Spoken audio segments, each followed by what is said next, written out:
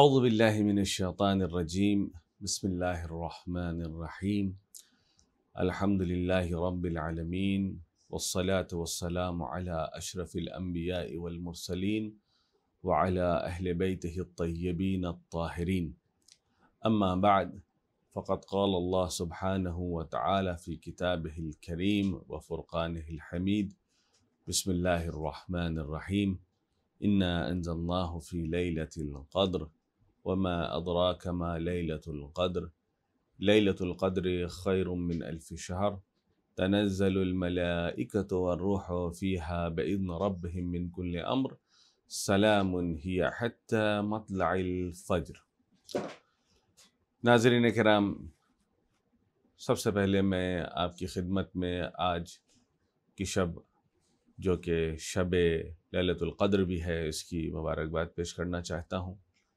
और साथ ही साथ आपसे मुलतमस हूँ कि आज की शब में अपनी दुआओं में मुझ हकीर को और अली टीवी के पूरे टीम को याद रखेंगे।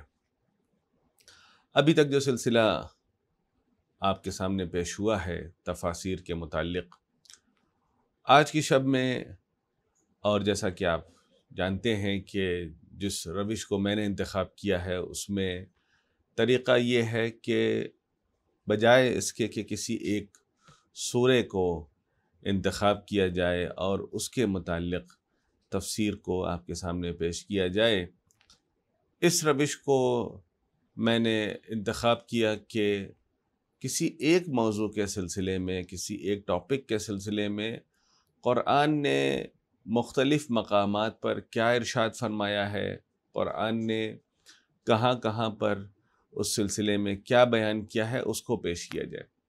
ताकि कोशिश ये हो कि एक जलसे के अंदर, एक सेशन में ज़्यादा से ज़्यादा मालूम क़ुरान के ज़रिए से उस टॉपिक के बारे में हासिल हो सके। और चूँकि आज की शब शब कद्र है और रवायात में आज की शब के सिलसिले से बहुत सारी ताक़ीदात बयान हुई हैं, लिहाजा क्या ही मुनासिब होगा कि आज की शब और अगर मुमकिन हुआ तो कल की शब। ये दो शब को वक्फ़ किया जाए ज़िक्र क़ुरान के लिए, ताकि कम मौके में, कम लम्हों में क़ुरान ख़ुद अपने बारे में मोमिन के सामने क्या बयान कर रहा है, उसे आपके सामने पेश किया जा सके। जो तरीक़ा कराम ने आपके सामने पेश किया, उसको आम ज़बान में तफसीर क़ुरान कहा जाता है। और जिस रविश को मैंने इख्तियार किया है, जिस तरीक़े को मैंने इख्तियार किया है, इसे तफसीर मौजूई क़ुरान कहा जाता है। यानी एक ख़ास टॉपिक, एक ख़ास मौजू के बारे में क़ुरान ने मुख्तलिफ़ मकाम पर क्या चीज़ बयान की है, उसको कोशिश ये किया है मैंने कि इसको इकट्ठा करूँ और आपके सामने पेश करूँ। ये रविश कोई नई रविश नहीं है कि किसी को शायद ये ख्याल पैदा हो जाए कि ये क्या कोई नई रविश है। नहीं है, बिल्कुल ये कोई नई रविश नहीं है, बल्कि बुज़ुर्गान ने, मराज कराम ने आलाम ने इस रविश को साल कदीम से इसे इख्तियार किया हुआ है। और आज भी मेरी कोशिश सिर्फ़ यही है कि इस नई रविश से मैं अपने नाजरीन को इससे आशना कराऊँ, उनको इंट्रोड्यूस करूँ उनके सामने। ताकि इस नई चीज़ से भी वो बाखबर हों। इसके बहुत सारे फ़वाद हैं। फ़ायदा ये है कि जब इंसान इस तरीके से तहकीक करता है, इस तरीके से रिसर्च करता है तो उसे एक आइडिया होता है कि क़ुरान अगर एक जगह पर किसी चीज़ के बारे में कह रहा है तो ऐसा नहीं है कि सिर्फ़ एक कोई ख़ास आयत है जो उस मौजू से मुतल है। बल, बल्कि मुख्तलिफ़ मकाम पर, मुख्तलिफ़ जगहों पर क़ुरान अपने अंदाज को बदल बदल कर उस पैगाम को पहुँचाने की कोशिश करता है। कभी जनाब मूसा के वाक़े के दरमियान में, कभी जनाब इब्राहिम के वाक़े के दरमियान में, कभी किसी दूसरे नबी के वाक़े के दरमियान में, उसके बीचों बीच में इन चीज़ों को छुपाया रखा है ताकि क्योंकि क़ुरान एक किताब हिदायत है और वो हमारी हिदायत के लिए आई है। इन वाक़ात के दरमियान में जो मुख्तलिफ़ आयात को छुपा करके रखा है, इसके दरमियान में ज़िक्र किया है, उसका सबसे अहम सबब यह है कि हर आदमी की ज़िंदगी की जो सिचुएशन होती है, वो अलग होती है। हर आदमी की ज़िंदगी के हालात जो होते हैं, वो एक दूसरे से फ़र्क करते हैं। लिहाजा क़ुरान ने अपने दामन में इस अंदाज से आयात को छुपाया है, इस अंदाज से आयात को पिरोया है, गोया कि हर आदमी अपने आप को एक नई स्टोरी के ज़रिए से, एक नई किस्से, एक नए दास्तान के ज़रिए से अपने आप को कनेक्ट कर सकता है। और वो ये देख सकता है कि अगर किसी ऐसी जगह पर है जहाँ पर मुखालफी ज़्यादा हैं, जहाँ पर उसकी बात सुनने वाला कोई नहीं है, जहाँ पर वो तनहा महसूस करता है तो वो जनाब इब्राहिम के वाक़े को पढ़े। अगर कोई इंसान ये महसूस करता है कि उसके ज़िंदगी में मसाइल बहुत ज़्यादा हैं, उसके रिश्तेदार उसे छोड़ रहे हैं, उसके घर वाले उसके मुखालफत कर रहे हैं, उसके पास जो नेक, जो सरमाया था, उसके पास जो माल दौलत था, वो सब धीरे धीरे उससे अलग हो गया तो वहाँ पर दूसरे जनाब सब्र अयूब के बारे में, जनाब अयूब के बारे में ज़िक्र है तो आपके सब्र की दास्तान को जब पढ़ेगा तो यही वो आयात कुरान है, जो अलग अलग अम्बिया के हालात में इंसान अपनी सिचुएशन को ढूंढ सकता है। जो रविश मैंने इंतखब की है, इसमें भी कोशिश यही है कि इन तमाम चीज़ों को, यानी जो मुख्तलिफ़ आयात अलग अलग अम्बिया या अलग अलग सूरों के दरमियान में पाई जाती हैं, किसी एक मौजू से मुतक़ उनको मैं इकट्ठा करूँ और आपके सामने पेश करूँ ताकि आप भी इस मुख्तलिफ़ आयात से जो एक ख़ास मौजू के सिलसिले में है, उससे आशना हो सकें। और एक कॉम्प्रिहेंसिव जिसे कहा जाए, एक मुकम्मल तौर पर आपको उस मौजू के बारे में इल्म हासिल हो सके और जो मौजू और जो बातें उस टॉपिक से रिलेटेड अलग अलग जगह पर की गई हैं, वो आपके रूबरू आ सके। आज का मौजू जो मैंने इंतखब किया है, वो आज की शब से मुतक़ है और एक ऐसा मौजू है कि जो हम और आपकी ज़िंदगी का एक अहम हिस्सा भी होना चाहिए, जिसके सिलसिले से, बल्कि आज की शब भी उसी मुनासिबत पर है कि जहाँ पर ख़ुद कुरान में ये इशारा फरमाया गया कि मैंने शब कद्र में कुरान को नाजिल किया और फिर लतुल्क़द्र खैर मिन अल्फ शहर कि ये शब कद्र कोई मामूली शब नहीं है, बल्कि इसके असरात, इसकी अहमियत, इसकी बरकत हज़ार महीनों से ज़्यादा है।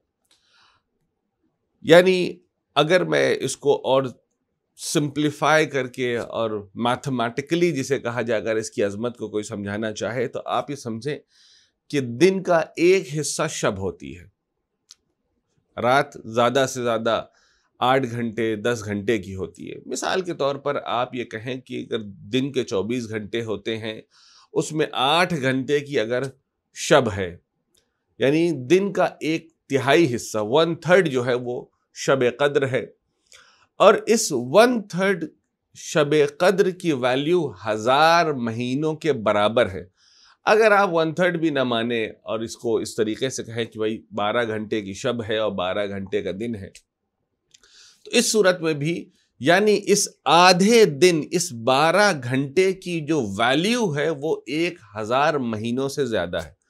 यानी अगर ये शब और रोज़ को मिला लिया जाए तो तकरीबन जो कुरान ने जो ताबीर इस्तेमाल की है अल्फ शहर, इसको आप दो हज़ार शहर, दो हज़ार महीने के बराबर समझें।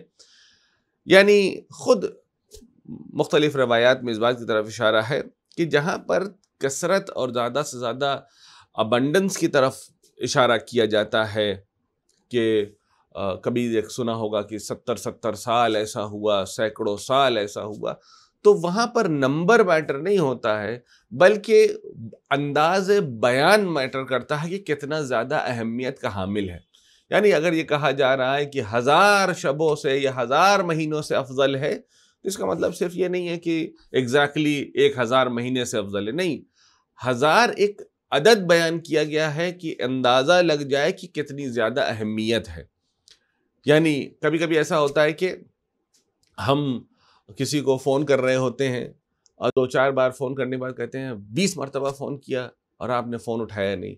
लेकिन हम आप मिस कॉल खोल कर देखते हैं कि मसलन, अरे, आपने तो आठ ही दस मरतबा कॉल किया था। तो बीस मरतबा क्यों बोले? नहीं, नंबर ऑफ़ कॉल वहाँ पे मैटर नहीं करता। वहाँ पे अहमियत मैटर करती है कि कितना ज़्यादा इंपॉर्टेंट मैटर था जिसकी वजह से मैं आपको बारहा फ़ोन कर रहा था। अब अगर खुदा कह रहा कि मैंने हज़ार महीनों से अफजल किया है तो इसका मतलब ये नहीं है कि हम इसकी अदद को हज़ार तक महदूद कर दें या उससे कम कर दें या उससे ज़्यादा बयान कर दें, बल्कि परवरदिगार आलम इस फिगर के ज़रिए से, इस नंबर के ज़रिए से उसकी अहमियत को बयान करने की कोशिश कर रहा है ताकि हम और आप इस शब कद्र की तरफ़ मुतवजह हों। और ये शब कद्र को सारी की सारी अहमियत किस वजह से हासिल हुई है? उसका सबब यह है कि परवरदिगार आलम ने इस शब को इंतखब किया है कि परवरदिगार आलम, उस उस क़ुरान को, उस किताब को, जो लोहे महफूज में परवरदिगार के पास महफूज थी, इसे नाजिल करे और कल्ब पैगंबर पर पहुँचा दे। अब यहाँ पर अहमियत के सिलसिले से मैं चंद आयात आपके सामने पेश करना चाहता हूँ, जो कुरान करीम में मुख्तलिफ़ जगह पर ये ज़िक्र हुआ है। यहाँ तक कि सबसे पहले इससे पहले कि मैं अहमियत का ज़िक्र करूँ, ख़ुद क़ुरान के बारे में। क़ुरान के अंदर मुख्तलिफ़ जगह पर अलग अलग उनवान से अलग अलग नाम के ज़रिए से इस किताब को याद किया गया है। कभी इसे फ़ुरक़ान कहा गया है, कभी इसे नूर कहा गया है, कभी इसे ज़िक्र कहा गया है, कभी इसे रहमत कहा गया है, कभी इसे शफा कहा गया है, कभी इसे हकीम कहा गया है। कभी इसे मजीद कहा गया है, कभी इसे मुबारक कहा गया है, कभी इसे अजीम तो कभी बुरहान तो कभी नूर। अलग अलग नामों से क़ुरान को परवरदिगार आलम ने इस किताब में पुकारा है। और ये नाम पुकारने की वजह हमारे और आपके दरमियान में मुमकिन है कि फ़र्क करती हो कि हम सिर्फ़ नाम इसलिए रखते हैं कि किसी आदमी को अगर बुलाना है तो ज़ाहिर सी बात है कि उसका कोई ना कोई नाम होना चाहिए। मिसाल के तौर पर किसी आदमी का रंग साफ़ नहीं है, लेकिन उसका नाम मसला नूर है। लेकिन कुरान जब किसी शय को नाम से पुकारता है या खुदा अपनी इस किताब को किसी नाम से पुकारता है तो वो सिर्फ़ पुकारने के लिए नहीं पुकार रहा है बल्कि उस ज़िम्न में ये भी बयान कर रहा है कि जिस नाम से मैं इस किताब को पुकार रहा हूँ, ये खसूसियत उस किताब में पाई जाती है। यानी अगर खुदा कुरान को फुरकान कह रहा है तो यानी कुरान के अंदर वो फ़ुरक़ानियत, वो कमाल पाया जाता है कि जो ईमान और हक व बातिल के दरमियान में फ़र्क किया जा सके। यानी अगर कुरान को परवरदिगार आलम रहमत कह रहा है तो इसका मतलब यह है कि रहमानियत की सिफत उसके अंदर पाई जाती है। अगर कुरान को परवरदिगार आलम नूर कह रहा है तो इसका मतलब यह है कि वो नूरानियत कुरान के अंदर पाई जाती है। सिर्फ़ नाम पुकारने के लिए नहीं है, बल्कि उन तमाम कमालात का हामिल भी है। इसी के साथ साथ जो सबसे ज़्यादा मशहूर मरूफ नाम जो इस किताब के लिए हमारे और आपके दरमियान में और पूरे आलम में मशहूर है, वो नाम है खुद लफ्ज़ क़ुरान क़ुरान का मतलब क्या है? क़ुरान यानी जिसे पढ़ा गया हो। और अल्लाह ने इस कुरान को यानी इस किताब को पढ़ करके अपने हबीब तक पहुँचाया है, ताकि वो उसे पढ़ें और वो आपके सामने पेश करें और फिर हमारी ज़िम्मेदारी हो कि हम इस पढ़ी जाने वाली किताब को पढ़ें। अजीब बात है कि जिस किताब का नाम ही कुरान है, उस किताब का रोल हमारी ज़िंदगी में कितना कम है। यानी शायद इस वजह से नाम रखा गया हो कि जब हम नाम ही रख देंगे कुरान की पढ़ा जाए, पढ़ी जाने वाली किताब तो शायद हम और आप उसको पढ़ें, उससे अपने रबते को मज़बूत करें, उसके नज़दीक जाएँ। लेकिन चूँकि हमारी ज़बान से आशना नहीं है तो हमें लगा कि जिस तरीके से हम अपने घरों में एक दूसरे का नाम रखते हैं, उसी तरीके से परवरदिगार ने भी इस किताब का नाम कुरान रख दिया। और इससे पढ़ने से कोई ताल्लुक ज़ाहिर नहीं है। बहुत बाबरकत किताब है हमारे घरों में इसका इस्तेमाल सिर्फ़ चूमने की हद तक कोई सफ़र पर जा रहा है तो उसको हवा दे दिया, उसको कुरान के नीचे से गुजार दिया और दहेज में देने के लिए काम आता है। बल्कि कुरान अपने नाम के हिसाब से इसे पढ़ी जाना चाहिए। हमारा रबता इस किताब के साथ महकम मुस्तहकम होना चाहिए कि जहाँ पर कोई मुश्किल हो, हम इस कुरान को पढ़ें, इसकी तिलावत करें। और इसके बाद जो दूसरा लफ्ज़ आज के शब्द से मुतक़ है वो है नज़ुल क़ुरान यानी क़ुरान को नाजिल किया गया। नाजिल कहते हैं नीचे लाने को।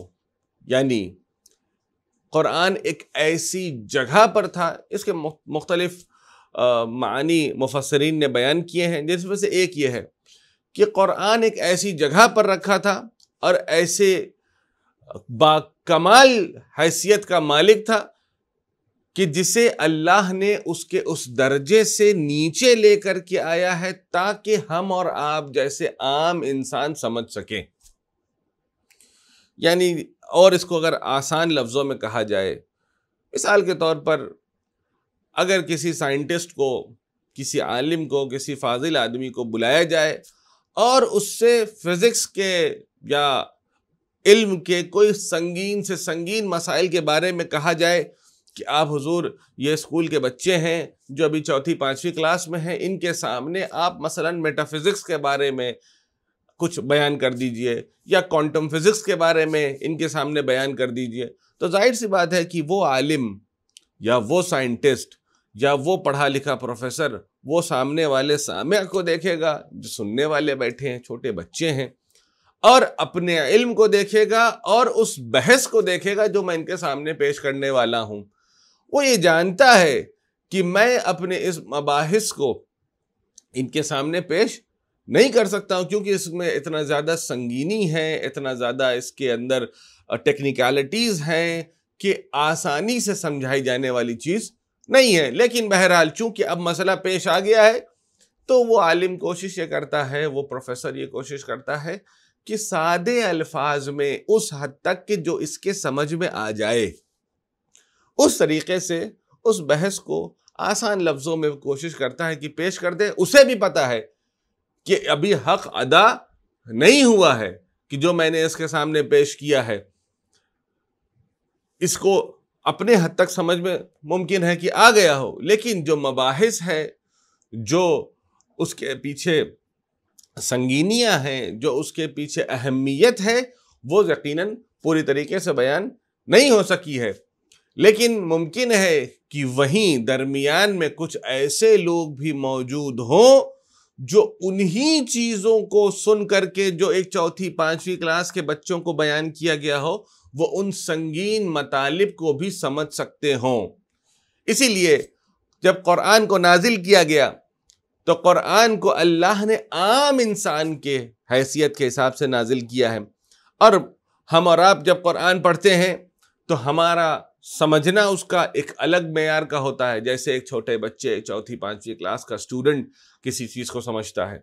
लेकिन अगर वहीं कोई आलिम हो, कोई मर्जा हो, कोई मुश्तहिद हो, कोई मासूम हो, जब वो इन आयात को देखता है तो उसका फहम, उसकी समझ, उसका इस चीज़ को अक्स करना, उसका मैार कुछ और होता है। इसीलिए शायद रवायात में बयान हुआ कि इस कुरान के सत्तर बुतोन हैं। यानी सत सेवेंटी लेयर्स हैं। एक लेयर के अंदर एक, दूसरे के अंदर दूसरा, तीसरे के अंदर तीसरा। जैसे जैसे इन परतों को खोलते जाएँगे, वैसे वैसे मारिफ इंसान हासिल करता चला जाएगा। यही वो कुरान है। मैं एक सादी सी एग्ज़ाम्पल आपके सामने अर्ज़ कर दूँ ताकि मेरी बात वाज हो जाए। यही वो कुरान है। जिसके अंदर मुख्तलिफ़ जगह पर कुरान ने दावा किया है कि हर खुशकुतर का ज़िक्र इस कुरान में पाया जाता है। जब हर खुशकुतर का ज़िक्र पाया जाता है और हम और आप जैसे मामूली इंसान इस कुरान की तिलावत करते हैं तो हमें बहुत सारी चीज़ों के जवाब इसमें नहीं मिलता है। मिसाल के तौर पर, आज के दौर में बहुत सारे ऐसे नए मसाइल हैं जो मिसाल के तौर पर पैगंबर के दौर में जब यह कुरान नाजिल हुआ नहीं थे। आज जो है मसलन, मिसाल के तौर पर मसला जो है वो सेरोगेसी का पाया जाता है, ऑर्गन ट्रांसप्लांट का पाया जाता है, ऑर्गन डोनेशन का पाया जाता है, लोग आसमानों पर जा रहे हैं, रॉकेट से चाँद पर जा रहे हैं, टूरिज़्म हो रहा है, स्पेस का, ज़मीन और समंदर की गहराइयों में जा रहे हैं। ये मसाइल कि वहाँ पर समंदर की गहराई में अगर कोई चला गया है तो वहाँ पर अगर किसी को नमाज़ पढ़ना होगा तो कैसे पढ़ेगा? कोई आदमी चाँद पर चला गया है तो वहाँ पर जाने के बाद चाँद पर अगर किसी को नमाज़ पढ़ना है तो किस तरफ़ रुख करेगा? उसका किबला किस तरफ़ होगा? अब बात हो रही है कि इंसान धीरे धीरे इंटर प्लानिटरी ट्रैवलिंग के बारे में सोच रहा है कि अब यहाँ से उठ करके मरीख मास पे चला जाएगा तो वहाँ पर जाने के बाद, वहाँ तो काबा है नहीं तो नमाज़ अदा करनी है तो कहाँ होगा? वहाँ का रोज़ा किस कस्म का होगा? ये सवालात बहरहाल मौजूद हैं। अब ये बताइए कि जब ये सवालात हैं और हमारे और आपका वक्त का इमाम जब आएगा तो क्या कोई नई शरीयत लेकर के आएगा? क्या कोई नया वर्जन कुरान का लेकर के आएगा? या नहीं? यही कुरान होगा, यही आयात होंगी, यही वो सूरे होंगे कि जब इसका हकीकी इल्म रखने वाला इस कुरान का, जो कुरान सामित है, जब कुरान नातिक हमारे सामने आएगा तो कुरान यही होगा और इन्हीं आयात की तिलावत करेगा। और जिन आयात की तिलावत हम और आप सुबह शाम कर रहे हैं इस माह मुबारक रमज़ान में, लेकिन हमारी नज़रों के सामने से आयात गुजरती है, हम उसकी तिलावत करते हैं और आगे बढ़ जाते हैं। लेकिन जब वो मासूम और वो कुरान नातिक जब आएगा और जब हम उससे सवाल पूछेंगे, क्या मौला, ये बताइए कि मसलन एक आदमी जो चाँद पर है, उसके लिए मसाइल क्या होंगे? उसके रोज़े का हुक्म क्या होगा? उसकी नमाज़ का हुक्म क्या होगा? जब हम उनसे ये सवाल पूछेंगे तो आप यकीन जानिए कि यही कुरान होगा, यही आयात कुरानिया होंगी, यही आरा आयात इलाहिया होंगी यही सूरे होंगे। इन्हीं सूरे में से आपके सामने वो पढ़ करके इन तमाम मसाइल का जवाब आपको दे देगा। यानी जैसे जैसे इमाम के आने के बाद मसाइल पेश आते जाएँगे, वैसे वैसे इमाम इन्हीं कुरान की आयत के ज़रिए से हमारे इन क्वेश्चंस का, हमारे इन प्रॉब्लम्स का, हमारे इन मसाइल का हल पेश करेंगे। ऐसा नहीं कि कहीं से कुछ और आने आने वाला है। सिर्फ़ और सिर्फ़ ये है कि जो मैंने मिसाल अर्ज़ की थी कि छोटे बच्चे जब किसी चीज़ को पढ़ते हैं तो उनकी समझ कुछ और होती है और जो इल्म कामिल रखने वाले हैं, रासखून फिल इल्म होते हैं, उनकी समझ कुछ और होती है।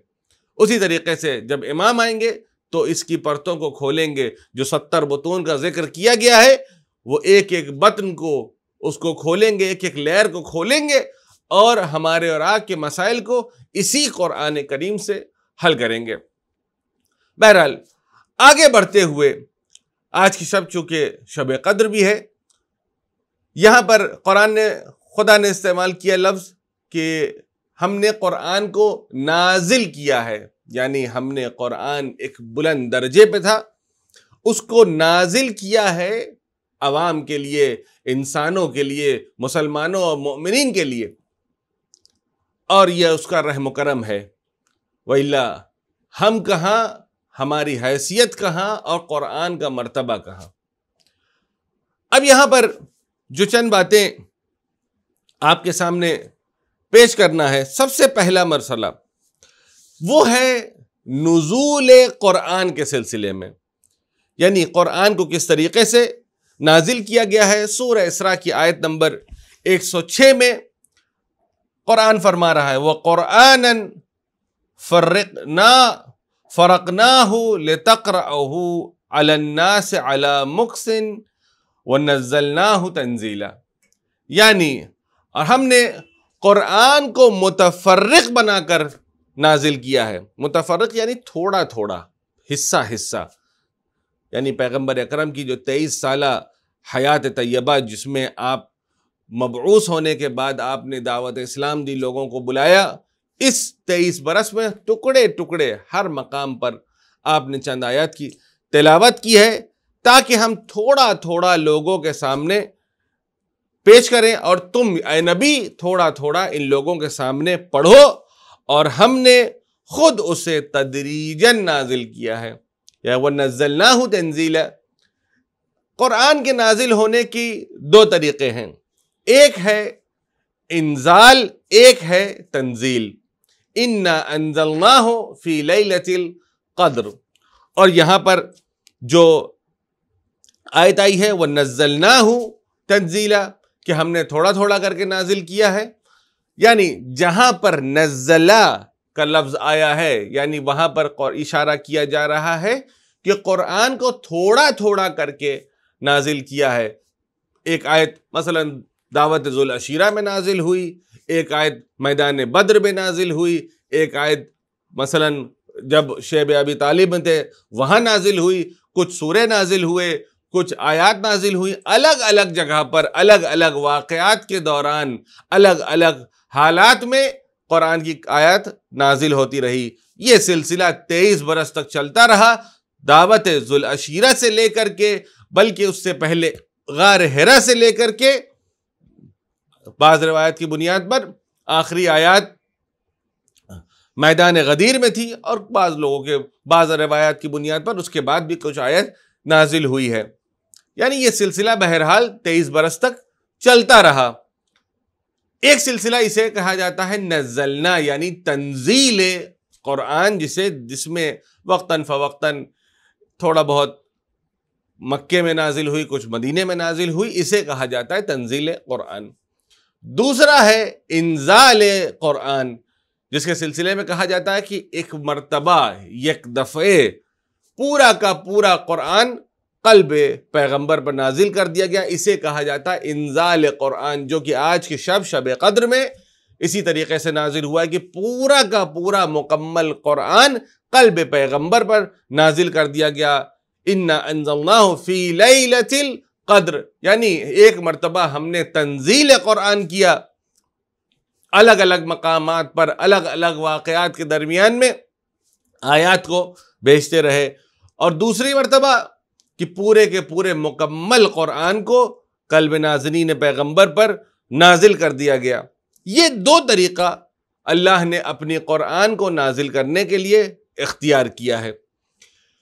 इसके बाद जो ख़ुद कुरान चूँकि आज का मौजू, और शायद मुझे लगता है कि कल का मौजू भी यही रहने वाला है, वो ये है कि ख़ुद कुरान अपनी निगाह में किस तरीके से अपने आप को अहमियत देता है। इसकी एक वजह यह भी है, जब तक कि अगर आम हालात में देखें कि इंसान खुद कॉन्फिडेंट ना हो, यानी खुद उसके अंदर वो इतमान न पाया जाता हो, तब तक किसी दूसरे को मुतमिन नहीं कर सकता है। मिसाल के तौर पर, कोई इंसान आपके यहाँ आए, आने के बाद आप कहें कि भाई मेरे घर में रेनोवेशन होना है, और ये करना है, ये करना है, ये करना है, ये करना है, उसको आपने चार पाँच काम गिनवा दिए। अब आप उसका चेहरा देख रहे हैं कि तुम इस काम को कर पाओगे कि नहीं कर पाओगे।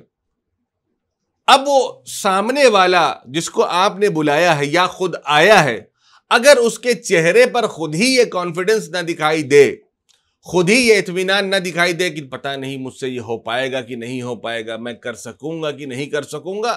तो फिर आप खुद जानते हैं कि इंसान की फितरत ये कि भाई ये जब इसको खुद ही अपने ऊपर इतमान नहीं है कि मैं ये काम कर पाऊँगा कि नहीं कर पाऊँगा तो यानी अगर मैं अपना इस काम को इसके हवाले करता भी हूँ तो मुझसे बड़ा अहमक कोई आदमी नहीं है। यानी जब इसको खुद इतमान नहीं है कि ये नहीं कर सकता तो मैं इस काम को कैसे इसके हवाले कर दूँ?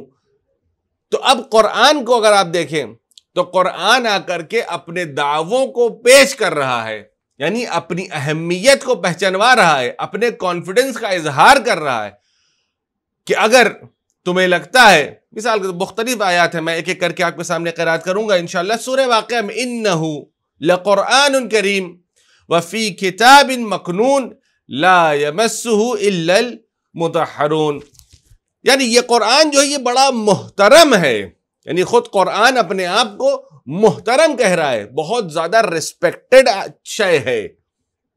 बहुत ज़्यादा मोहतरम, लायक एहतराम किताब है जिसे एक पोशीदा किताब में रखा गया है। कुरान एक अलग चीज़ है। अब देखिए, ये यहाँ पर थोड़ा सा बहस इरफानी भी है, समझने की भी चीज़ है, क्योंकि हमारे जहन में जैसे जैसे लफ्ज़ कुरान आता है तो हमें लगता है कि ये एक किताब है क्योंकि हमने कुरान को किताब की ही शक्ल में देखा है। कुरान वो नूर है कुरान वो पैगाम है कुरान वो शय है जिससे अल्लाह ने नाजिल किया है। किताब हमारा तस्वुर है। अब उसके बाद अगले मरहले में क्या कह रहा है कि इस कि, जिसको हम इस कुरान को हमने किताब की शक्ल दी है। यानी उसकी शक्ल को हम किताब कहते हैं। कुरान एक अलग मफहूम है, एक अलग एंटिटी है, एक अलग शय है, जिसके बारे में आगे बढ़ के क्या कहते हैं? ला इस किताब को तो हम छू सकते हैं। इस किताब को हम हाथ में भी ले सकते हैं। इस किताब को हम उठा भी सकते हैं। लेकिन कुरान ये किताब नहीं है। कुरान वो नूर है कुरान वो मैसेज है कुरान वो मफहूम है जो इस किताब के अंदर कैद है, लेकिन उस तक पहुँचना हर किसी की बस की बात नहीं है, बल्कि उस किताब तक, उस कुरान तक पहुँचने के लिए इंसान को पाक व पाकिजा होना ज़रूरी है। इंसान को तैयब ताहिर होना ज़रूरी है। अगर हम ये चाहते हैं कि उस कुरान हकीकी तक पहुँचे, उस कुरान तक पहुँचे तो हमारी ज़िम्मेदारी यह है कि पहले हम अपने आप को पाक पाकिजा बनाएँ। पहले हम अपने आप को तैयब ताहिर बनाएँ। हम अपने आप को गुनाहों से दूर करें। हम अपने आप को बुराइयों से दूर करें। हम अपने आप को हसद और गीबत से दूर करें। जब हम अपने आप को पाक पाकिजा बना लेंगे, हम इस कुरान के हकीकी नूर के नज़दीक पहुँच जाएँगे। और यही चीज़ जितना ज़्यादा कुरान सामित के बारे में है, उतना ही ज़्यादा यही मफहूम कुरान नातिक के बारे में भी है। यानी हम बाज़ अफराद ये समझते हैं कि मासीत करके, गुनाह करके, वो समझते हैं कि वो अहल बैत के नज़दीक चले जाएँगे। ये समझते हैं कि हम अहल बैत से मोहब्बत करते हैं तो हम अहल बैत हमारी शफात कर देंगे। सिर्फ़ और सिर्फ़ एक तरफा दावे से कुछ होने वाला नहीं है। क्यों? मैं एक सादी से एग्ज़ाम्पल पेश कर देता हूँ ताकि मोमिन इस चीज़ से आशना हो जाए और थोड़ा अपने बारे में, इसके बारे में गौर व फ़िक्र करें। खुद कुरान ये कहता है कि हम, अल्लाह का इरादा यह है कि अहल बैत को पाक व पाकिज़ा बना दें और उनके पास से हर तरीके के रिज और पलीदी और बुराइयों, खामियों को दूर कर दे। अब एक इंसान है जो कभी कभी ख़ता करता है, कभी गलती करता है कभी कभी नाउदबिल्ला मिंदाल गुनाह में मुबतला हो जाता है। ये चाहता है कि वो अहल बैत के नज़दीक चला जाए। कैसे मुमकिन है? आयत कुरान कह रही कि हमने इनके पास से, जो अहल बैत अलैहिस्सलाम है, इनके पास से हर तरीके की बुराइयों को दूर कर दिया है। ये इंसान जो गुनहगार है वो ये चाहता है कि वो इनके करीब चला जाए। पॉसिबल ही नहीं है। मगर ये कि जब तक कि ये पाक व पाकिज़ा न कर दिया जाए या न हो जाए, अगर कोई बशर, कोई इंसान, कोई मोमिन, कोई चाहने वाला, कोई मुहिब, कोई शिया ये चाहता है कि अहले बैत के नज़दीक जाए तो इसे अपने आप को पाक व पाकिजा करना होगा। बिना पाकिजगी के, बिना तहारत के, न वो कुरान नातिक के नज़दीक जा सकता है और ना ही इंसान मफहूम कुरान सामित के पास जा सकता है। जब तक के उसने अपने आप को पाक पाकिजा न बना लिया। आयत कुरान है, ला यमसहु इल्लल मुतहरून। अगर उसको जाना है, इस मफहूम के नज़दीक अपने आप को पाक पाकिज़ा बनाना है कुरान हकीकी के नज़दीक जाना है तो बहरहाल उसे अपने आप को पाको पाकिज़ा बनाना होगा। एक, आज के लिए एक आखिरी आयत की तरफ़ इशारा करना चाहता हूँ, जिसमें कुरान में कुरान की अजमत को परवरदिगार आलम बयान कर रहा है। क्या बयान कर रहा है? कुरान कोई मामूली शय नहीं है कि जिसे हम और आप समझते हैं कि एक किताब है जो हमारे घरों में रखी हुई है। इसकी अजमत के सिलसिले में जो कुरान ख़ुद इशारा फरमा रहा है, जिसमें अल्लाह ये फरमा रहा है लव अनजल हादल कुरान अला जबलिन कि अगर हम इस कुरान को किसी पहाड़ पर नाजिल कर देते लराइत खाश अन मुतसद अन मिन खशियत तो तुम ये देखते कि इस खौफ से, इस खौफ खुदा से वो पहाड़ लर्जा हो जाता और टुकड़े टुकड़े होकर हवा में बिखर जाता। ये वाकन अजमत कुरान को भी पहचान, पहुंचाता है कि अगर ये पहाड़ जैसी शय के ऊपर, जिसके बारे में खुद कुरान ये फरमाता है कि ये वो अहमियत रखते हैं ये पहाड़ के, जिनकी वजह से इस ज़मीन को ठहराव है, स्टेबिलिटी है। अगर ये पहाड़ ख़त्म हो जाए तो आए दिन इस ज़मीन पर जलजले और अर्थक्वेक आए। ऐसे मुस्तहकम चीज़ जिसको कील से भी ताबीर की गई है कि ये वो कील है जो गड़े हुए हैं ज़मीन पर, जिसकी वजह से ज़मीन को लर्जा नहीं आता है।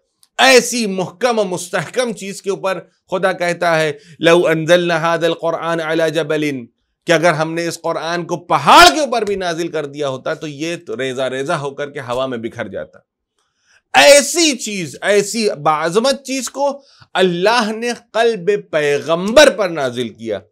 तो आप जरा अंदाज़ा लगाएँ कि पहाड़ जैसी शय जो इतनी मुहकम, मुस्तहकम और मज़बूत है, अगर वो हवा में बिखर जाता तो अजमत मोहम्मदी का अंदाज़ा लगाए कि उस दिल पर परवरदिगार आलम ने इस कुरान की तंजील भी की है और इंजाल भी किया है।